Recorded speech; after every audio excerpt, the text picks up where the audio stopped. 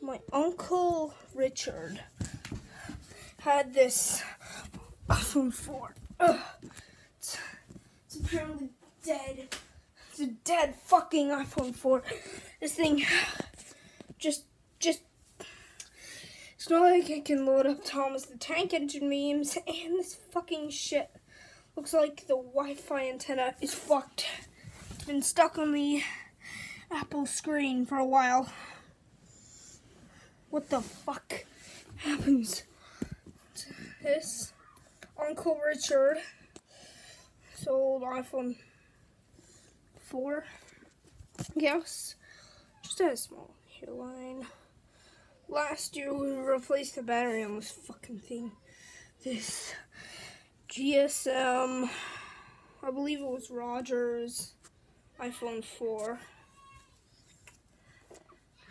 Yeah. Rest in peace, buddy.